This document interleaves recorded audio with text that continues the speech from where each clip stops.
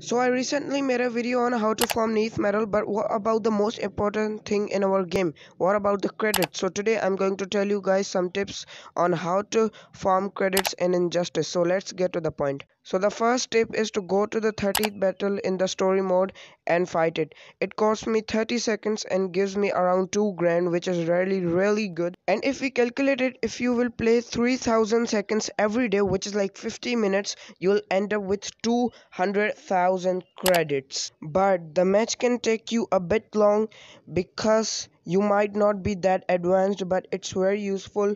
But the battle i use is even better. I play the battle 35 which gives me more than 4000 credits under a minute. So if we do maths we want to get 4000 credits. We can get it in under 100 minutes which is like 1.5 hour which is insane. In this much amount you can open as many challenge booster packs as you want and you can purchase every single character in store and you can max out your favorite character.